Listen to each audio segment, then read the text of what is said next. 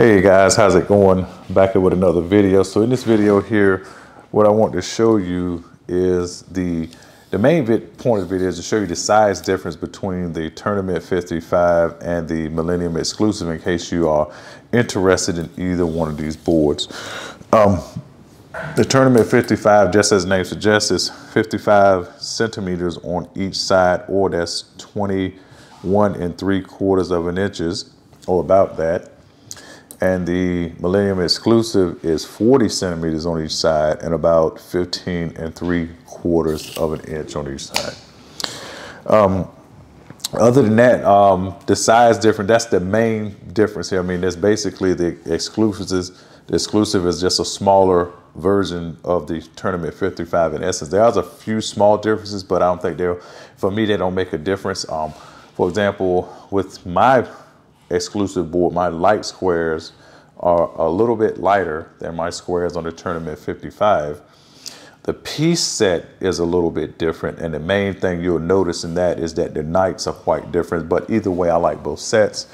And the way you adjust the LED on the Tournament 55 is by pressing the gold plated um, Millennium emblem on the front of the board and how you adjust the LEDs on the exclusive is by using something such as the uh, Chess Classics element. They've probably done that on purpose because again, most people that they probably sell in the tournament 55 to, which the name implies tournament, that they're going to be playing either online tournaments or either hybrid tournaments. So likely the, the, the, the crowd of people the, that they are marketing to is, are not like people who want to play against a computer and things like that at home on a smaller board here. But either way, again, you can play online with either board, you can play hybrid tournaments with either board, and basically the exclusive is just a smaller version of the Tournament 55. Now up on the screen, you will also see that I have um, the Chess PGN Master open. And the reason I have that open is that uh, I just want to show you how um, you know, you know, I, have told you the last time I um, made a video of this board, the next time, the, the next video I was going to make with make with it was with a um, a very interesting position that I had got not too long ago. So let me go ahead and set that up here. So how you do position setup in here is you go to this menu on the left side and go down to edit start position. Then, because obviously it has piece recognition, you could just begin setting pieces on the board and um, things will just begin populating, which is nice. Okay. Now this position, um, what I will say about this, um, it's a very interesting position. Um, I think what it does is really good pattern recognition training. And again, I did not find this line that I'm about to show you. I found it later afterwards with computer analysis. So again, it's somewhat of a computer line, but it's not necessarily impossible to see. And you really need to have, um, you know, this is how you learn chess, obviously, is you learn pattern and pattern recognitions, and then you're able to apply them into, you know, your own games. So once everything here is set up, then you just hit OK. All right. So now, um, in this position here, this is white to checkmate in 10 moves. Okay, so uh, what I'm gonna do is I'm gonna play this out against, play against the computer. So let's go ahead and start, hit this and start a star stockfish. Um, the first move in this combination or this forced checkmating sequence, it would be probably the hardest move to see. But however, it's not impossible. Even if you didn't have a computer analysis, I mean, you still could somewhat use process of elimination, but it would take some creativity to find that first move. So if you want to pause the video, just give it a, give it a shot. You can do that. But otherwise, I'm about to start the checkmating sequence. Now, the very first move you're going to play is rook to h8. And you think, wow, that is crazy because well, if you think about it, if he takes the rook with the king, queen comes into h6 with a check, and then rook comes down to e8, and it'd be mate just in two moves, I believe.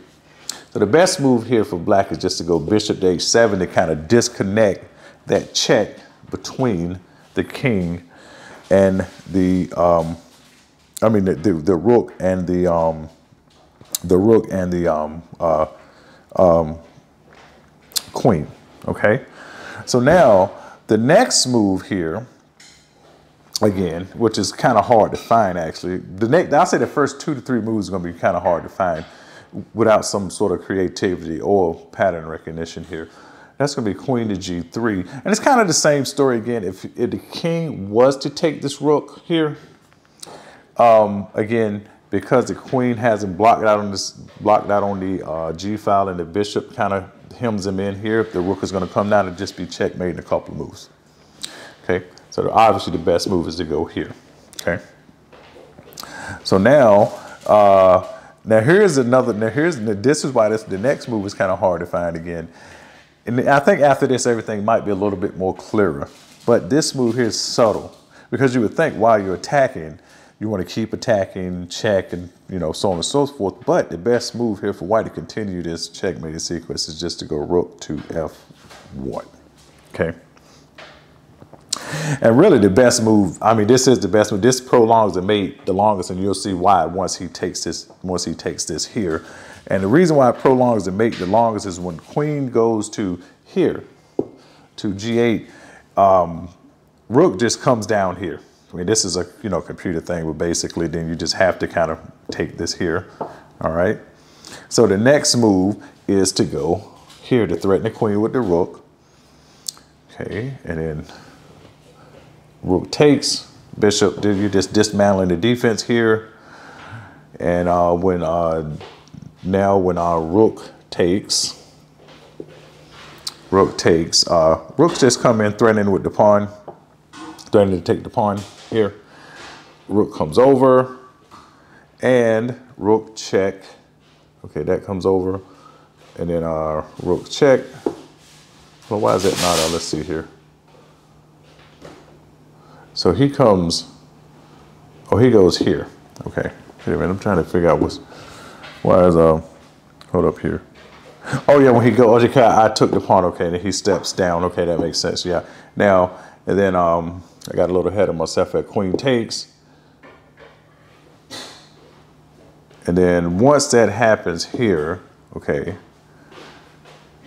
and then once that happens here, um, and then basically it's just queen to g3 is mate.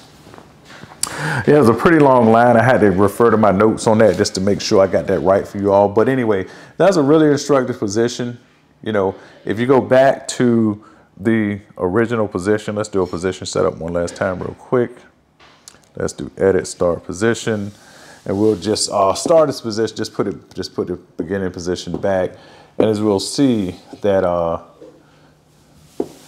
we went from this position here, yeah, we went from this position here to that end position we just saw, and that was checkmate in 10.